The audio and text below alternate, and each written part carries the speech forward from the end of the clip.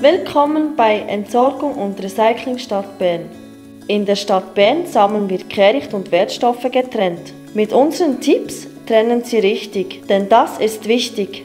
Haushaltskehricht wird zweimal in der Woche von der Kehrichtabfuhr abgeholt. Er wird in blauen Gebührensäcken vor dem Haus bereitgestellt. Noch besser wäre es, wenn Sie ein Container für die Lagerung und Bereitstellung der Gebührensäcke verwenden. Brennbare Gegenstände, die nicht in den Gebührensack passen, werden ebenfalls mit der Kehrichtabfuhr abgeholt. Dazu gehören etwa kleine Möbel oder Besen. Diese werden zu den blauen Gebührensäcken oder neben den Containern gestellt. Sie werden mit einem Kleinsperrgutmarke gekennzeichnet. Die Marken erhalten Sie im Laden.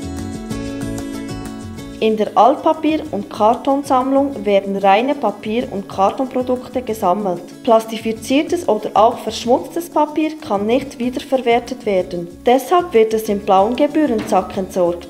Altpapier und Karton werden gebündelt bereitgestellt. Oder Sie entsorgen sie ganz bequem lose im Container. Den Papiercontainer können Sie bei uns bestellen. Auch in den Entsorgungshöfen und an manchen Sammelstellen in den Quartieren können Sie Ihr Altpapier kostenlos entsorgen. Abfälle aus dem Garten sowie Rüstabfälle und Speisereste entsorgen Sie in der Grüngutabfuhr. Wenn Sie möchten, verwenden Sie die kompostierbaren Bioabfallsäcke mit dem offiziellen Gitternetzaufdruck. Alle anderen Plastiksäcke, auch die recycelbaren Einkaufssäckli, kommen in den blauen Gebührensack. Die Grüngutabfuhr kommt einmal in der Woche. Für die Grüngutabfuhr benötigen Sie einen Container. Sie können ihn bei uns bestellen und anmelden. Gib's gesorgt. Gib's Sorge. Gib's gesorgt. Gib's gesorgt. Hashtag gib's gesorgt.